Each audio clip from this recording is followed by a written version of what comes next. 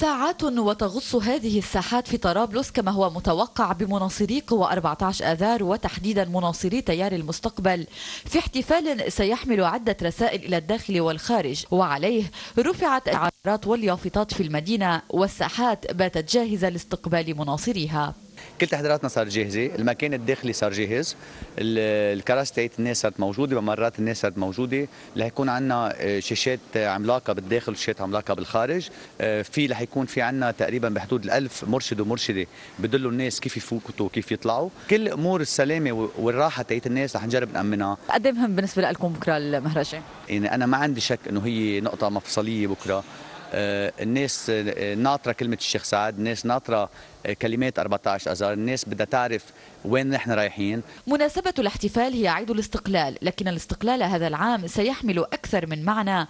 كونه الأول بعد الانقلاب على حكومة الرئيس سعد الحريري. هكذا يقول النائب سمير الجسر. أول شغلة اللي عم يطلع هذه الإشاعات بأنه والله انخفاض آه، يعني شعبية الرئيس سعد الحريري.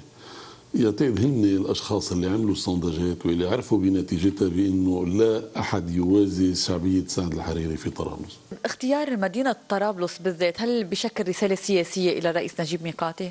بشكل رسالة سياسية للبنان كله مش بس للرئيس ميقاتي يعني إحنا مش إنه والله بس إنه الرئيس ميقاتي هو اللي مستهدف فيها بس أنا اللي بدي أقول إنه يعني إنه منع كثير على طرابلس يعني إنه أن يكون المهرجان فيها يعني اولا طرابلس لها اليد الطولة إن كان في الاستقلال الأول ولا في الاستقلال الثاني. مهرجان الأحد سيكون بمثابة استفتاء شعبي جديد للرئيس سعد الحريري وتيار المستقبل ولخيارات 14 آذار وسيشكل محطة مفصلية لأن ما قبل المهرجان لن يكون حتما كما بعده.